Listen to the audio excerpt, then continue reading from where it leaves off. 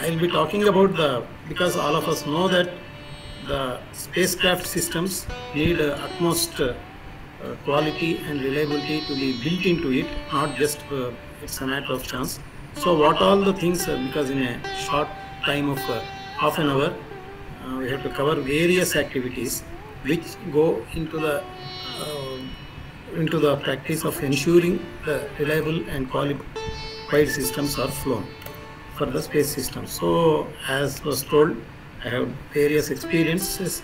So, based on all these interactions, this presentation is uh, coined and uh, some important terminology. Of course, all are seniors here. I don't think I need to explain this much. But in the modern days world, quality means uh, it is a fitness for use or customer satisfaction. Reliability is what is the probability that this item will perform its intended function for a specified interval. So that interval I will come to under stated conditions. This is not, uh, most in, important. So the environment under which it is supposed to function, it has to function. And for the given duration, at that time, what is the probability of its functioning? And availability is mainly for ground systems, where whenever a system has to be pressed into service, how much uh, readiness it is there. So that is a statistical number availability. So what makes space systems special compared to uh, terrestrial systems? Otherwise, uh, quality is a function, especially in today's world where customer is the king. Definitely, there is a no doubt that quality has to be embedded into every system that we develop. But space systems are a bit different in the sense because the main reasons are the operation is unattended and the product that is developed, let it be a spacecraft or a launch vehicle, it is a multidisciplinary product. You name any branch of engineering that will be playing a role in the making of these products. And another important thing, especially for the spacecrafts, is the spacecraft has to work in the environment of space. This is which is quite hostile. Okay, and uh, another important aspect is the low volume. See, James Webb Space uh, Telescope, if you take for example, over 40 years the product was developed. I don't know how many project teams would have changed, how many project directors would have changed, and the product is developed across various uh, uh, geographical locations uh, around the globe itself. So all these places, how do you ensure over so many decades that whatever focus is there on quality is undisturbed and still all the people involved are focused on doing that. So especially sometimes like Chandrayaan itself you take, it is over last failure to now itself four years, initial development if you consider. So over such a long period, how to ensure that the final product is reliable. Then we have constraints, especially because launch vehicle can lift only a certain amount of uh, weight and the volume is constrained, mass is constrained and power also, how much you can generate, it is also constrained. So within these constraints, how to get the desired functionality, desired reliability, that is the most important challenge as far as space systems are concerned. I am sure it will be true for whatever system we take. Every system will have its own challenges. I am focusing on what makes space systems slightly different from terrestrial systems. So the major components of space systems are launch vehicle, where the operational reliability is important. That means if you launch say 10 spacecrafts or 10 launch vehicles or 30, like for example recently Ariane 5, they have closed their operations. Out of 177 launches, they just had two failures. Okay, so 175 failures. So that is the type of that's how the launch vehicle reliability is seen. Whereas for a spacecraft, the classical uh, definition of reliability, whatever I told, the probability that the spacecraft. But here the most important aspect is the life assurance. If you take some of our communication spacecrafts, okay, so they all even in the worldwide, they are all designed for a life of 15 years and they generally are expected to perform much beyond that because such a huge investment is made in the, the build of the spacecraft, including launch vehicle when we see. It will be some thousands of crores. So that kind of investment when it is made, the spacecraft and the services have to be available for a long time. So the life assurance, because we have mechanisms which are running at 5000 rotations per minute, so without being attended to. So how do you ensure a wheel which starts its uh, uh, rotation after launch at 5000 RPM for 15 years is functioning at the end of 15 years without any hitch. So that is the challenge with respect to the space time. And ground station, because two types of ground things are there. One is for testing the spacecraft and the rocket and all at the ground. So that is one part of it. And even operating the spacecraft, okay, as it is in the orbit, regular maintenance and any problems if they are there to fix. So that is one part of the ground station. Other is like remote sensing spacecrafts if we take. There is a segment which has to receive the data from the payloads. Like it could be a camera or it could be a radar. Eh, all those data has to be received on the ground, then disseminated to the user segment. So that is where the ground station comes into picture. And there, as I have told, availability plays a major important role. So just to illustrate the importance of, as I told, when products are developed over a few decades, how to inculcate that culture. I will just give an example where we went to That is a launch pad. There, there was one uh, PA to our program director at that time. So he appears very normal like that. So, but then I have requested uh, Mr. Jayaprakash to type a letter for me. So he has done at those days uh, this many PCs, laptops, these are all not there on typewriter. He has done it. So I found that in a two pages thing, he has just uh, typed one word wrong. I was really surprised. He has done a very good job. So I told JP everything is fine except that one word is typed wrong. Immediately he became so restless. Mistake. Tappa, naninda aita. I have done a mistake. You just show me, show me like that. You give me the draft you have given. I told I have thrown it. Then he went, searched the dustbins and pulled out the paper and there actually I have written that because it was a technical word in my writing, my writing only was the wrong. So what I am trying to tell here is that quality conscience, whatever we do, it can be any job. So that has to be done perfectly. That is the type of culture which has to be inculcated. Then another important aspect when we talk about uh, any high reliability product is understanding of the environment. Because a product may work very well under certain conditions, but if it has to work in say Sahara desert, it is important that it is tested for that. So the same way the space environment, it is characterized by very very harsh uh, uh, parameters. One is weightlessness, everybody knows, of course, because we see so many videos of uh, shuttle where astronauts are all floating around and all that. And vacuum is another important uh, thing where if you take a geosynchronous orbit, the levels of vacuum could be 10 power minus 15 torr.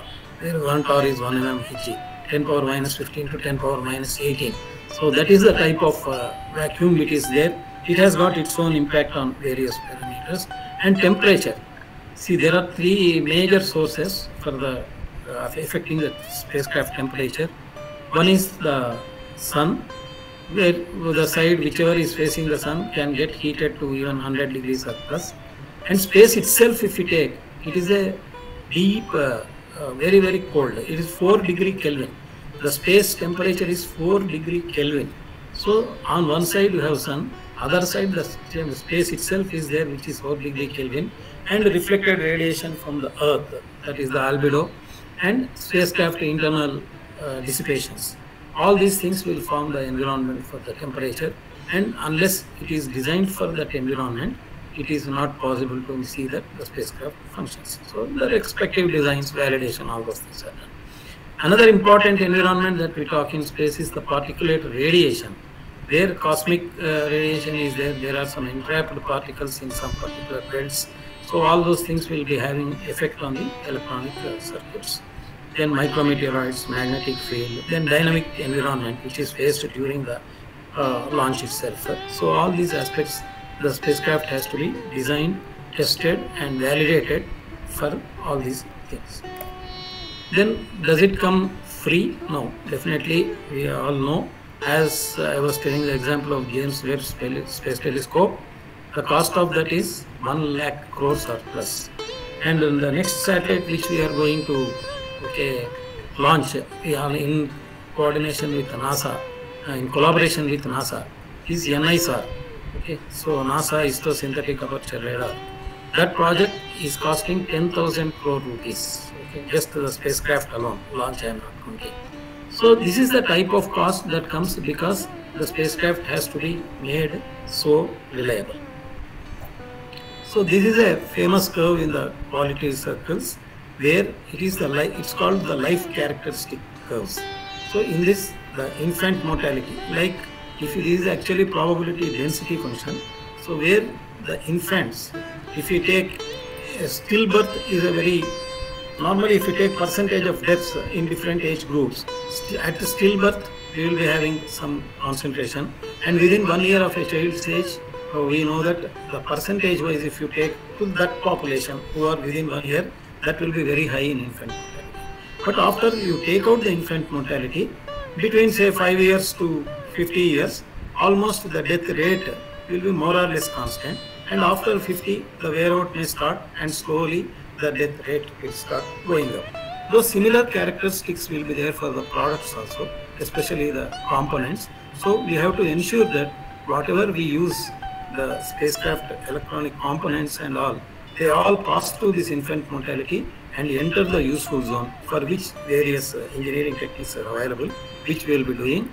And mechanical elements like wheels and all, from the day they are born, they will be, from the time they are running, they will be going into the wear out zone. So it will be wearing out slowly. So all the design has to ensure that the required wear out will not exceed the threshold before we complete 15 years.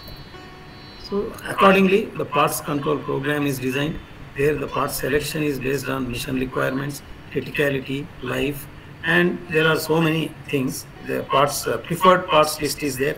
We have to use this parts only from the preferred parts list. Okay, then the screening. The screening is something amongst it. The burn-in is the most important thing, where the component is biased and burnt for 240 hours. Uh, so that is some 10 days like that, continuously at uh, plus 125 or plus 175 degrees centigrade, depending on the type of component. The idea of this is uh, based on Arrhenius reaction rate. If you do it for 10 days, it will be taking out some 25 years of component life around. So the at uh, 25 degrees centigrade. So that is how you remove the infant mortality and enter. And there are several more things under parts control which I cannot be elaborating in short time. Then there is an reliability engineering where the probability whatever we have talked about that has to be estimated, controlled and managed. So nowhere it has to eliminate. Okay? So because we are not gods, so we have to finally failure is bound to happen, but how to manage those probabilities. That is what reliability engineering addresses. So accordingly, there are various design principles, assessment tools, statistically based sample testing, various things. So these are all various uh, activities under reliability engineering. As I go, some of them may come. So this is another place where it demonstrates actually the importance of paying attention to detail. We went for launch. I will make it very short. So we, when we went to Kourou, we found that uh, our spacecraft was okay, but it was a dual launch. Along with us, one Japanese spacecraft was supposed to be flown. So what you are seeing here is the inside of a uh, Antonov aircraft, which carries uh, meant for cargo. But normally cargo planes, they will not have pressurized compartments except for the cabin uh, crew and uh, uh, loading crew. So that if you take what happened, the Japanese spacecraft, when they removed the uh, covering whichever was there, they brought from airport. And uh, when they opened in the clean room, they saw that that container has become a shape like this. So why it happened is because of the differential pressure that is encountered during landing and takeoff. Of course, everybody knows this, and they designed some breather valves at all the four corners of the uh, container. Those breather valves are built into. But here, maybe over that, somebody last minute wanted to tie it with tarpaulin or something because of whatever reason, and they have done with tarpaulin. At the time of loading into the aircraft, the tarpaulin should have been removed. Because they did not remove it, the spacecraft got damaged, and it took two years for them to come back again, and of course, some hundreds of crores of expenditure. And not just to them, because we are co-passengers, we our co-passenger is not ready. We have to wait for four or five months to get to the suitable co-passenger. So this is where devil is in the detail. Paying attention to detail is very important and these are the numbers, whatever probabilities I told. Okay, here just one instant enter where two friends have gone to, sometimes people ask what happens if 0.999 becomes 998 like that. For them, okay, we cannot be straight away answering. So, but when uh, two friends, they went to Egypt. So one of the friends has seen and he just wondered uh, aloud after seeing a monument. It's really wonderful. What could be age? Immediately, the other friend has told it is two million and two year old.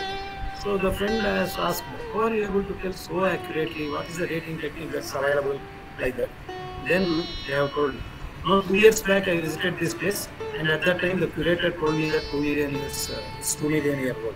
So this is what, uh, if you try to go to the last digit, but definitely reliability prediction has its own significance because especially when you have to choose amongst alternate designs, alternate suppliers and all, the figure of merit for the uh, product's uh, quality and uh, its long lastingness that is comes from the reliability computations.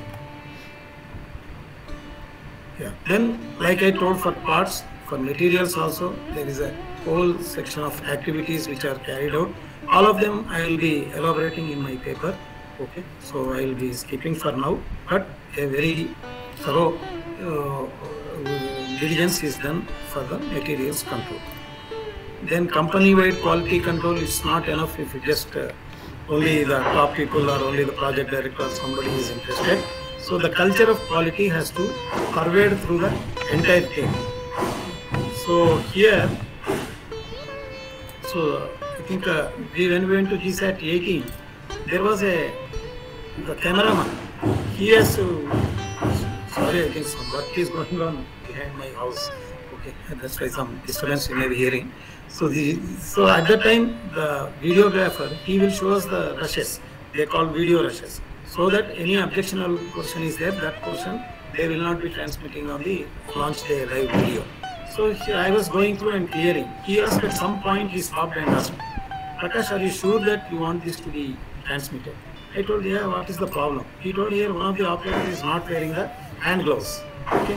So even a cameraman is able to, photographer is able to see and tell that something is not as per the uh, process which is supposed to be. So this kind of culture, once it is percolates, it is uh, the job of assuring quality becomes easier. Then there is another analysis called failure mode effects and criticality analysis, where we assume various failure modes of components and try to see its impact and take the necessary corrective actions. Same way, fault tree analysis, one is from bottom to top, another is from top to bottom. You assume a failure at the top level, say landing failure or an accidental rocket motor firing. Then you come down to what will come down in the construction, what all can cause. So these kinds of analysis will help to strengthen the design. Then another important aspect is the test and evaluation.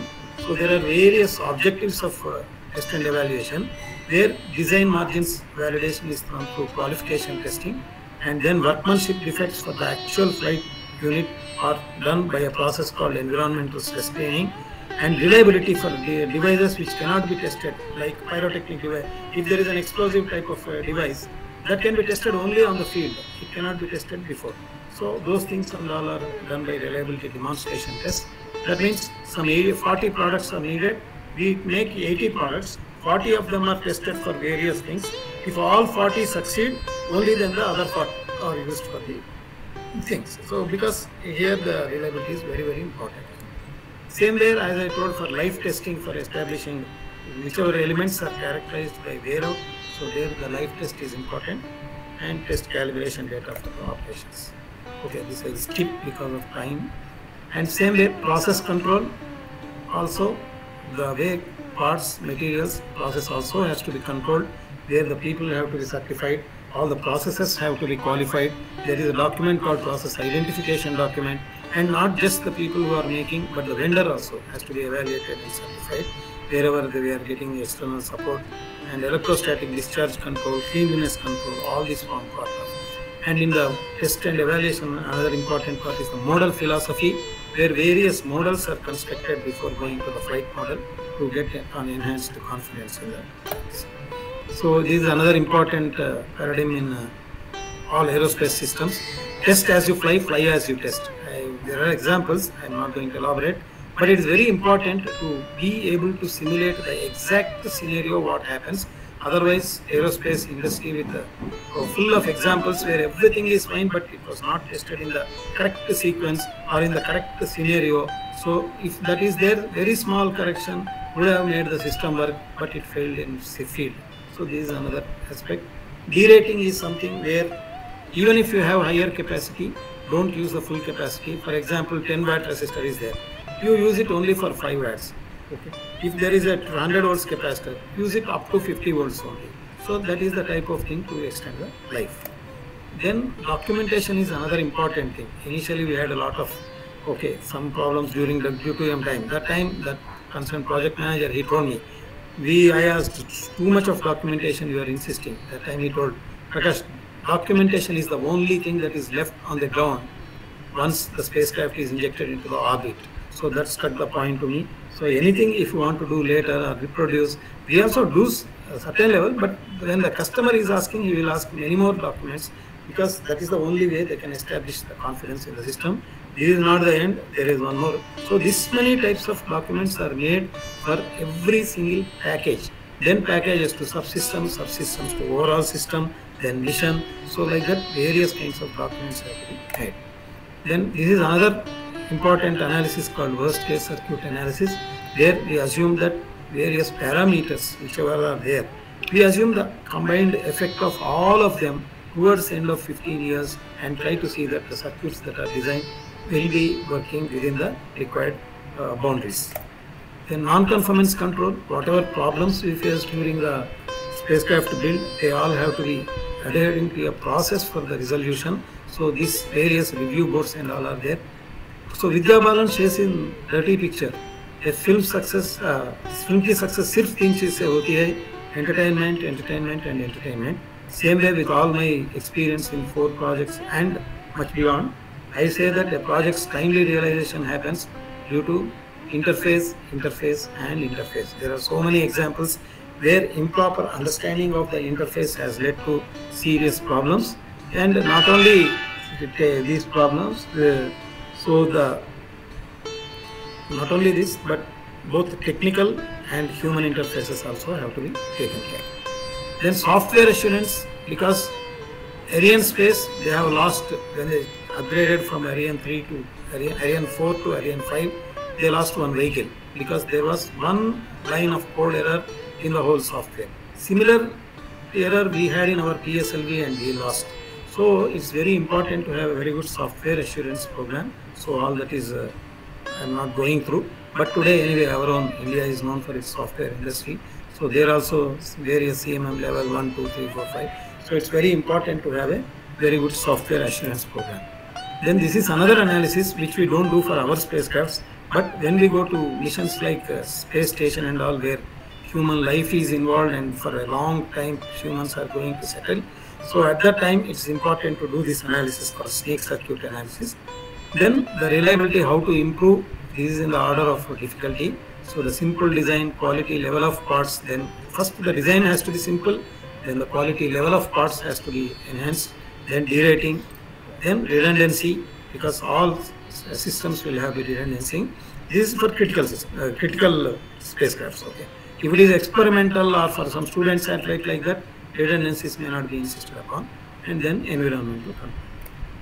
So reviews, as I said, it's a actually if you ask any of the ISRO chairman for the what is the reason behind success apart from the heritage and uh, whatever culture, they also mention about the reviews because reviews are one which give an opportunity for us to examine ourselves and uh, actually more than the suggestions that come in the review to present for a review when they are preparing itself the designer or the whoever is uh, presenting to the review they themselves will have an opportunity to go through the entire spectrum and it is really good. And there is one saying, if you always do if you, what you always did, you will always get what you always got. This is an old saying. So the emerging trends in the spacecraft or technology earlier ISRO used to develop and uh, then go to the user. Now systems are developed based on the user requirement. Complexity inversion. Earlier, we, every it was a taboo. Don't complicate space was the earlier. Now we say the ground systems are very simple, and the space is becoming. If you see some of the satellites, they are looking like a football field like that with all deployed uh, panels and all that. Okay, so that is the type of uh, complexity because we have now matured in the technologies. We are confident that we can make reliable systems even though they are complex. So that is complexity inversion as. And uh, on the, this is one end of the scale. Other end of the scale, there is a lot of uh, interest in small and micro satellites. Apart from all this, today's commercial word faster, cheaper, better. Nominal space means uh, nobody questioned when JWST took uh, 40 years. But today you cannot be proposing such projects also. Everybody wants results faster and cheaper and better. So under this environment, the approach of QA also cannot stick to the heritage. So there are so many changes which are happening. So though we have come a long way, we still believe space will not forgive you if you make mistakes.